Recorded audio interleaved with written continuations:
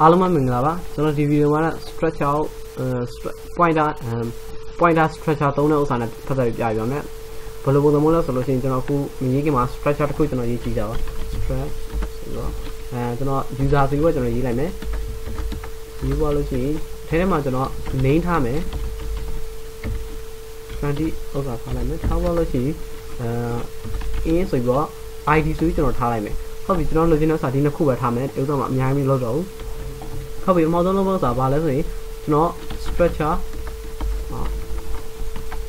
structure user ဆိုတော့ကျွန်တော် pointer ဆိုရ p တစ်ခုစီပဲထားလိုက်မယ်အဲ့မှာကျွန်တော်တစ်ခုပြောချင်တာဘာလဲဆိုလို့ရှိရင်ကျွန်တော်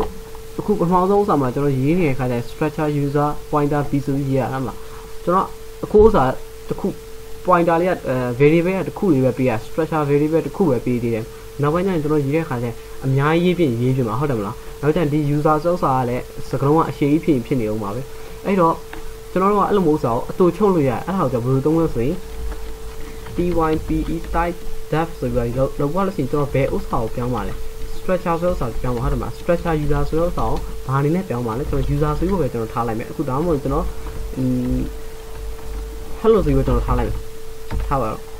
ကျွန်တော်ဒီဥစ္စာနဲ့ user ဆိုတဲ့ဥစ္စာနဲ့မတူညီအောင်ဆိုပြီးကျွန်တော်ထားလိုက်တယ် ကျွန်တော်ဒီဥစ္စာဘာလုပ်လဲဆိုတော့ကျွန်တော်ရှင်းပြတယ် type def ဆိုတဲ့ဥစ္စာ function တစ်ခုဖြစ်တယ်အဲ့ဒီဥစ္စာကိုခုံပွိုင်းကျွန်တော်ဘယ်ဥစ္စာကိုဘာနာမည်လေးနဲ့ပြောင်းနေတာလဲဆိုပြီးကျွန်တော်မေးမယ်မေးတဲ့အခါကျရင် stress ဆိုတဲ့ဥစ္စာ structure user ဆိုတဲ့ဥစ္စာကိုကျွန်တော် hello ဆိုဖို့ပဲ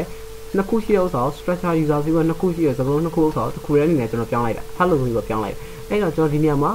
structure user ဆိုတဲ့ဥစ္စာကိုရေးစရာမလိုတော့ကျွန်တော် hello ဆိုပြီးတော့ကျွန်တော်ရေးလိုက်ရင်မရတယ်ဟုတ်ပြီပြီးသွားပြီကျွန်တော်အခုဒီဥစ္စာလေးဒီ function နဲ့ပတ်သက်တဲ့ဆိုတာကျွန်တော်ပြောပြီးသွားအခုကျွန်တော် pointer ရှိတော့တာပေါ့ pointer မှာကျွန်တော်တို့အရင်တော့ပေးထားတဲ့ဥစ္စာနဲ့ဘာကွာခြားလဲကျွန်တော်ရိုးဥစ္စာနဲ့သုံးတာနဲ့ဘာကွာခြားလဲ pointer ဆိုပြီးယူသုံးတာနဲ့ဘာကွာခြားလဲဆိုတော့ကျွန်တော်အခုပြန်မှာဆိုကွာခြားတာရှိပါတယ်အများကြီးကွာခြားတာရှိတယ်အဲ့တော့ကျွန်တော်အခုဗာရေးမလဲဆိုရင်ဒီလို user ကိုကျွန်တော်မေးမယ် um under you က name ဆိုပြီးကျွန်တော်ရေးခိုင်းမယ် under you က name ဆိုပြီးကျွန်တော်ရေးခိုင်းမယ် and နောက်ကျရင်ပုံမှန်တိုင်းလေးပဲတော့ဟုတ်ပြီဒီ person person s ဖြစ်ရမယ်နောက်ကျရင် p p dot name ဆိုပြီးရေးမယ် ကျွန်တော်အခုဒီဥစ္စာတွေ run ကြည့်ကြည့်တာပါ run ကြည့်လို့ရှိရင် error ဖြစ်လိမ့်မယ်ဘာကြောင့် error ဖြစ်တာလဲဒီဥစ္စာကိုကျွန်တော်လွတ်ထားတဲ့ဥစ္စာလုံးဝအမှန်ကန်တဲ့ဥစ္စာကြီးအမှန်ကြီးတဲ့ဥစ္စာကြီးဘာကြောင့်ဖြစ်တာလဲဆိုတော့ရှင်ဘာကြောင့်လဲဆိုကျွန်တော်ဒီမှာ dot ဆိုပြီးသုံးတာတယ်တကယ်တမ်းကျ pointer အတွက် dot ဆိုပြီးသုံးခွင့်မရှိဘူးပုံမှန်ရိုးဥစ္စာ dot ပဲ dot ဆိုပြီးသုံးလို့ရ pointer အတွက်ဆိုလို့ရှိရင် hyphen ပြီးွားရင် greater than sign ကိုသုံးရတယ်အဲ့ခါကျရင်ကျွန်တော်ဘာဘာသုံးမှဆိုပြီးပေါ်လာအခု name ဆိုပြီးသုံးမှတော့ name ဆိုပြီးပေါ်လာကျွန်တော်အခု run ကြည့်ကြည့်မယ် perfect ဟုတ်ဘာပြဿနာမရှိဘူးနောက်တစ်ခါကျရင်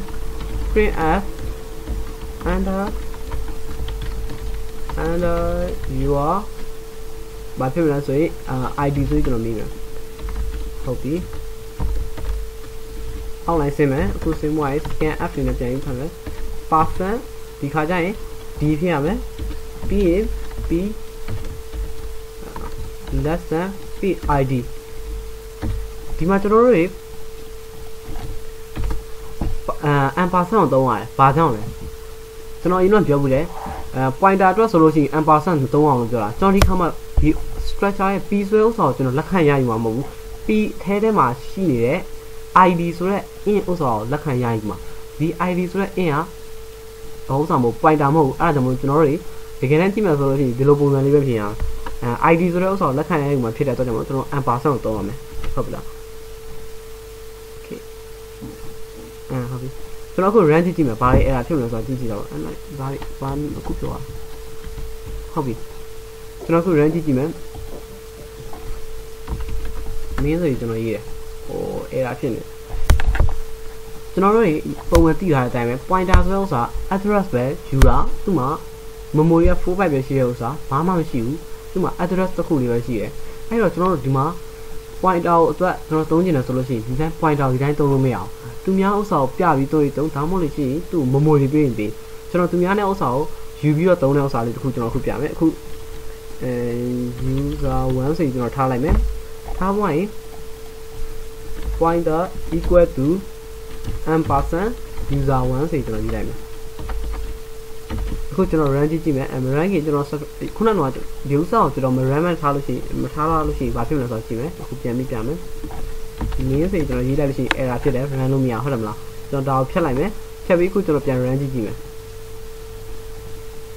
user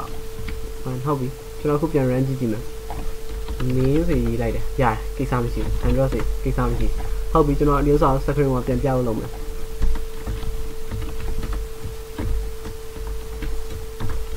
person s person t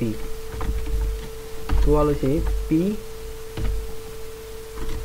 ဒီမှာ name ကိုကျွန်တော်ယူမယ်ပြီးရင် p id ကိုယူမယ်ဟုတ်ပြီကျွန်တော်နောက်တစ်ခုတက်ပြမှာဗာလဲဆိုရင် copy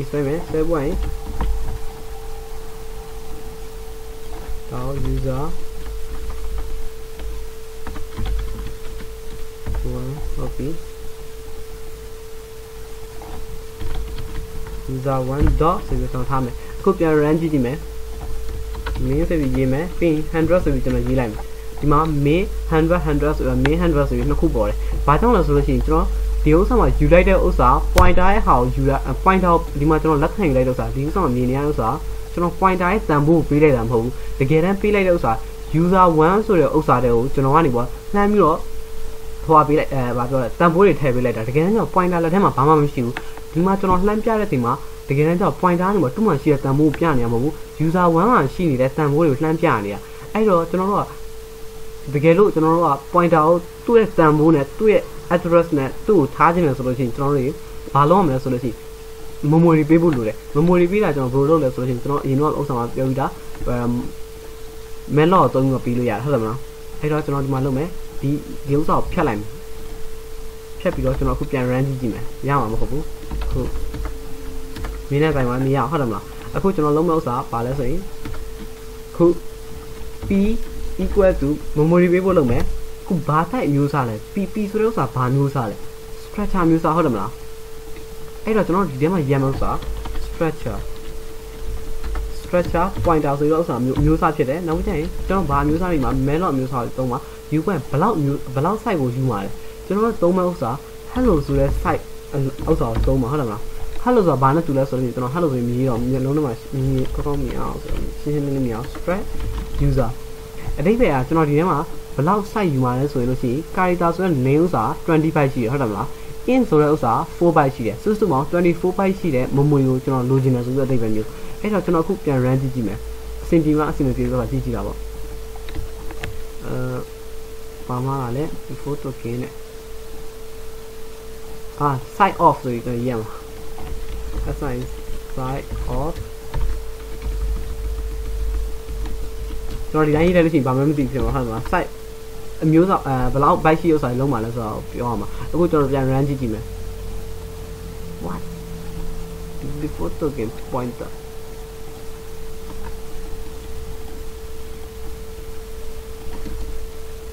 where am I wrong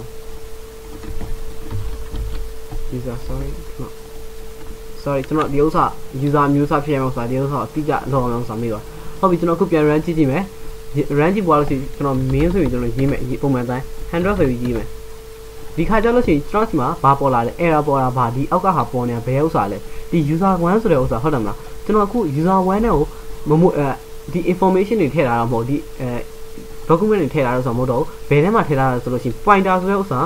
pointer ရဲ့ address pointer ရဲ့ တန်ဖိုးထဲမှာသူ့ရဲ့ memory အဲ memory ရှိတဲ့ဥစ္စာတွေမှာကျွန်တော်ထည့်တာအဲ့တော့ကျွန်တော်ဒီဥစ္စာ user ဆိုပြီးရေးလို့ရှိရင်အခုမရတော့ user ဆိုပြီးရေးလို့ရှိရင်သူ့မှာဘာမှမပေါ်ဘူးသူကရှော့ရှော့ပြီးပေါက်တက်ကြရဥစ္စာတွေပေါ်နေလိမ့်မယ်အဲ့လိုမျိုးအဲ့တော့ကျွန်တော်တို့ကအခုဆိုရင်ကျွန်တော်နှစ်ခုပုံစံနှစ်ခုနဲ့ပြတာလေဘာလဲဆိုလို့ရှိရင်သူများရဲ့ဥစ္စာကိုပုံမှန် address နဲ့လှမ်းပြပြီးတော့ထည့်တဲ့ဥစ္စာနဲ့သုံးကျင်သုံးဒါမှမဟုတ်လို့ရှိရင်ကိုကိုတိုင်း memory ကိုပေးပြီးတော့ရှိရင်အဲ pointer memory ပေးပြီးအဲ့ဒါကိုယူသုံးအဲ့လိုပုံစံမျိုးနဲ့ကျွန်တော်သုံးနေရပါတယ်ဟုတ်ပါပြီဒီဥစ္စာကြလို့ရှိရင်ဒါ pointer ကိုအဲ structure pointer နဲ့ပတ်သက်တဲ့အကြောင်းမှာအားလုံးပဲနားလည်လိမ့်မယ်လို့ထင်ပါတယ်ကျွန်တော်ဒီဗီဒီယိုဒီမှာရက်လိုက်ပါမယ်နောက်ထပ်ဗီဒီယိုမှာကျွန်တော်နောက်ထပ်ကြောင်းတစ်ခုနဲ့ထပ်ရှင်းပြပါမယ်တကယ်လို့မသိတာရှိလို့ရှိရင်ကျွန်တော် comment မှာဖြစ်ဖြစ်ကျွန်တော်မေးပို့တာဖြစ်ဖြစ်ချက်ပေါင်းနေပဲဖြစ်ပြောလို့ရပါတယ်မေးလို့ရပါတယ်ဒီအများကြီးတင်ပါတယ်